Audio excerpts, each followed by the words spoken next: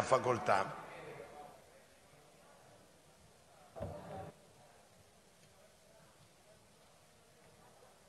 Ecco, sì, ok. Grazie Presidente, colleghi senatori.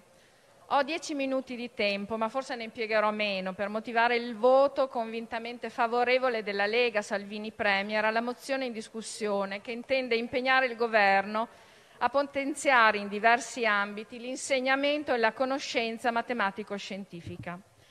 Ebbene, colleghi, che questo potenziamento sia necessario e indispensabile per i nostri giovani, per le nostre imprese, per i nostri cittadini, per essere preparati e competitivi, nonché cittadini attivi in una società in cui l'approccio tecnico, scientifico e digitale è e sarà sempre più indispensabile per poter essere preparati all'altezza di importanti sfide e autonomi nel modo di gestire anche la nostra quotidianità? Ebbene, dicevo, questo ormai lo abbiamo capito e detto e lo stiamo forse ripetendo ormai quasi allo sfinimento. Quello che forse non abbiamo detto abbastanza e che ritengo invece si debba dire è che noi abbiamo una grande responsabilità, la responsabilità di non interrompere quel processo di evoluzione culturale e scientifica alla cui base, dall'origine dei tempi, sta la matematica. Ce lo insegna Pitagora, che quasi 3.000 anni fa ha posto le basi, possiamo dirlo, del pensiero scientifico moderno e della filosofia, Filosofia intesa come amore per la sapienza che va a bramine, che non a caso deriva da mazzema, scienza, che a sua volta deriva dal verbo manzano, imparare, e da qui i matematrare, e da qui i matematicos, vale a dire gli inclini a conoscere. Fu lui, Pitagora, a scoprire quelle relazioni matematiche che sono alla base della musica, dell'arte, di quelle proporzioni che dettarono e dettano tuttora la creazione di grandi opere architettoniche, per fare un esempio, i templi greci, piuttosto che gli spettacolari affreschi come la Cappella Sistina di Michelangelo, che tutto il mondo ci invidia. Un affresco che deve alla sua bellezza alla perfezione matematica con cui fu studiato e realizzato. Uno studio dettagliato avrebbe infatti dimostrato che il vero segreto della portentosa armonia tra le parti, che rende così bilanciati ed equilibrati gli affreschi della Cappella Sistina, è in realtà l'uso sistematico e voluto della cosiddetta sezione aurea, che possiamo forse definire quel miracolo di proporzioni fra le parti che è insito nella natura stessa e che gli studi matematici hanno permesso di scoprire, quindi di applicare alle creazioni dell'uomo con risultati di una magnificenza unica. Che dire poi di Leonardo, del suo genio, dai suoi scritti, dalle sue sperimentazioni, dalle sue opere e dai suoi dipinti? È evidente quanto Leonardo abbia nutrito per i numeri e il calcolo un particolare interesse, ritenendo che dietro i numeri vi sia la possibilità di creare strade nuove, ancora sconosciute, che siano in grado di portare la conoscenza dell'uomo verso una più ampia profondità. E ritornando a Pitagora, non dimentichiamo la scoperta della scala musicale, anch'essa basata su proporzioni matematiche e a sua volta base delle composizioni musicali dei musicisti di ogni tempo. Il legame tra il linguaggio musicale e i principi matematici sono indissolubili e per questo nella storia dell'uomo la matematica e la musica le troviamo spesso unite indissolubilmente. Ma non solo, nell'anno di Dante non possiamo non ricordare quanto l'opera che lo ha reso celebre sia legata ai numeri e alle leggi matematiche nelle sue proporzioni.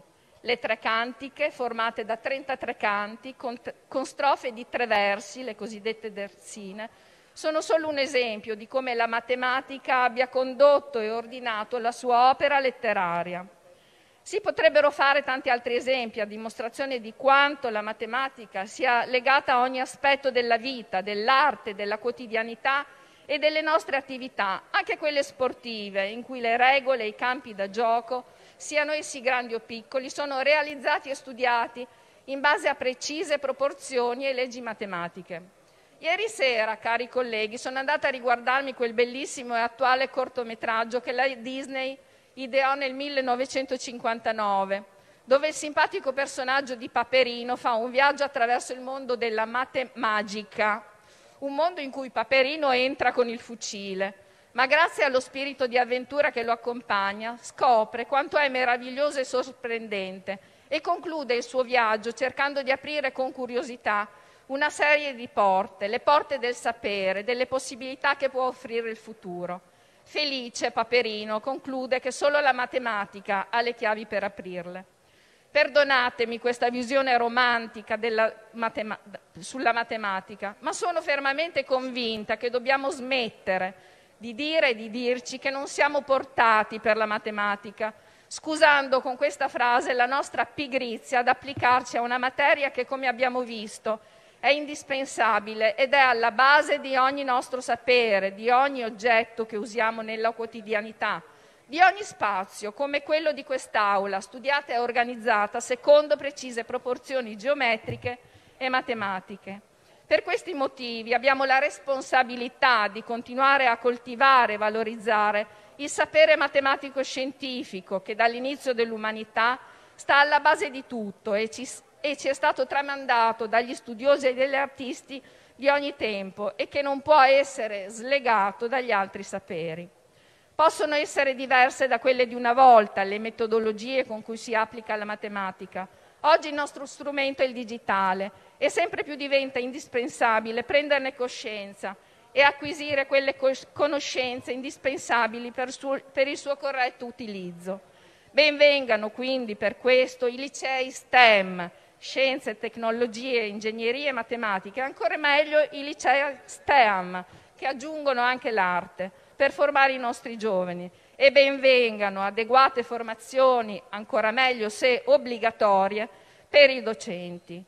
Io vorrei fare, mm, mi permetto, un piccolo inciso dicendo che sono molto orgogliosa del fatto che nella mia città, nel prossimo anno scolastico, verrà inaugurato un liceo STEAM in un istituto paritario. Io di questo sono molto orgogliosa e spero veramente che qualche componente del governo del, dell'istruzione possa essere presente. Con tutto questo voglio infine ribadire e confermare convintamente il voto favorevole alla mozione in oggetto del gruppo Lega Salvini Premier. Grazie Presidente. Grazie.